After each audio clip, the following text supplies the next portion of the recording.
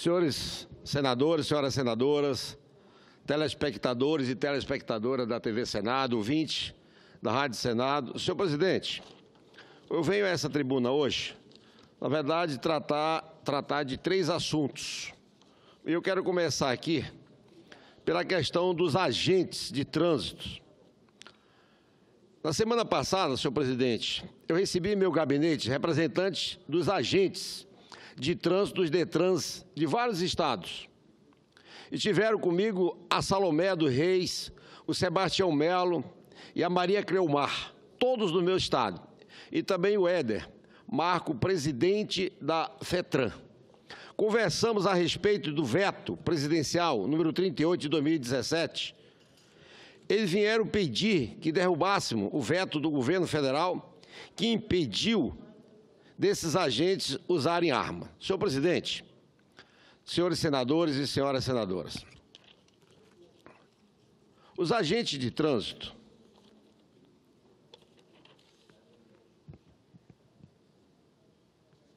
Não, senhor presidente, eu ouvi aqui nesse plenário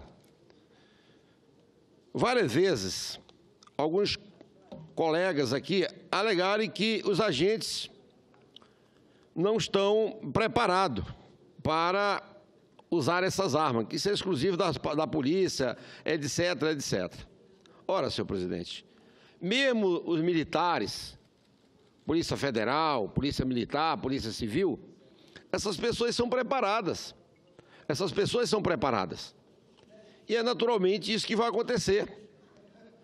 Esses agentes vão ser treinados nos quartéis da Polícia Civil, Polícia Militar, terão uma avaliação rigorosa de psicólogos, vão ter uma ficha limpa na justiça e nos órgãos onde trabalho, de ordem que eles precisam, sim, se proteger. Olha só, o G1 diz aqui em São Paulo, agressões contra agente de trânsito sobe 20%.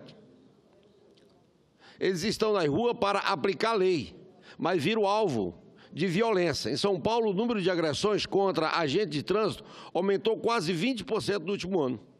O Fantástico fez uma blitz pelo Brasil e mostra como um uma simples multa pode detonar reações descontroladas. Em Salvador, no interior do, do Paraná, na maior cidade do país, em todo o Brasil, funcionários agredidos, em sua maioria, em plena luz do dia.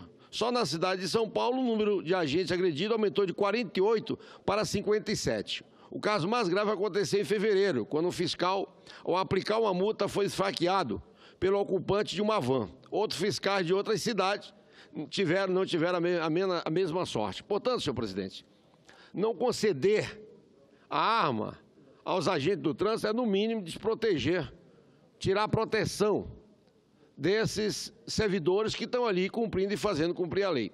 Toda ação gera uma reação. E a multa, às vezes, gera essa reação que é, não se explica. E se o agente estiver ali armado, ele se protege. Ele se protege. Porque normalmente é deslocada a PM para dar proteção a esses agentes. Portanto, eu sou a favor de derrubar esse veto. Os agentes realmente devem portar arma, vão estar treinados para isso. Com isso, eles desafogam a própria Polícia Militar, a Polícia Militar vai cumprir com outras obrigações e não está ali protegendo.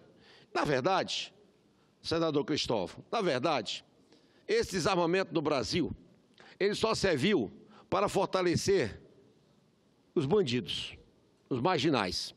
Eles hoje têm a convicção do que o cidadão do bem está desarmado.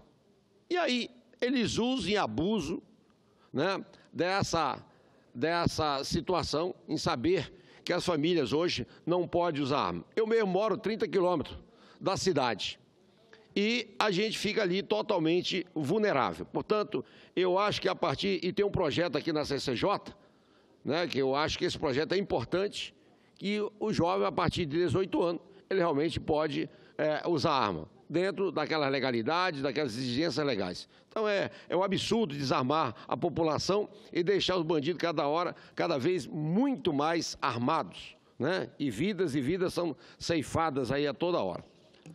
Por último, senhor presidente, eu quero aqui o prêmio Educadora do ano a uma professora indígena. Essa semana o Brasil está respirando educação. As notícias, senador Cristóvão, das provas do Enem, que tiveram, dedicações dos professores, ansiedade dos candidatos e a imprensa cobrindo todo o detalhe, dá a dimensão do envolvimento da população com essa importante etapa da formação dos nossos futuros doutores, engenheiros, governantes, etc. Aproveitando esse clima, quero aqui homenagear a professora indígena Elisângela Suruí, de 38 anos, que foi premiada por seu projeto de alfabetização na língua indígena Paitê Suruí. Ela é de Cacoal, de Rondônia.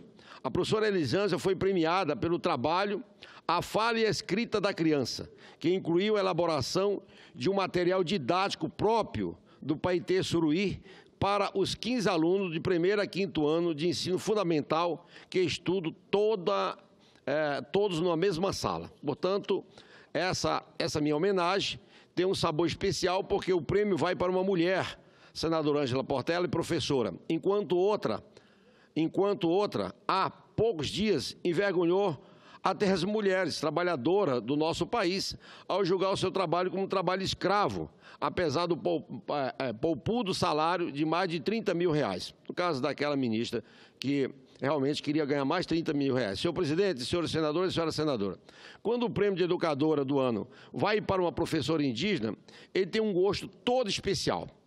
Eu que tenho sangue indígena, correntes na veia, que vivo com os povos indígenas do meu estado, sei das dificuldades que eles têm para acessar recursos mínimos de educação, saúde e segurança. Ficamos muito orgulhosos quando uma parente é reconhecida nacionalmente. É nesta hora, senhor presidente, que vemos que vale a pena lutar em favor das, dos mais vulneráveis e esquecidos do poder público. Parabéns, portanto, à professora Elisângela por esse prêmio que ela, ela realmente é, recebeu pelo um trabalho belíssimo e diferenciado, pelo seu esforço, pela sua vontade, pelo seu amor ao seu povo e à sua gente. Muito obrigado, senhor presidente.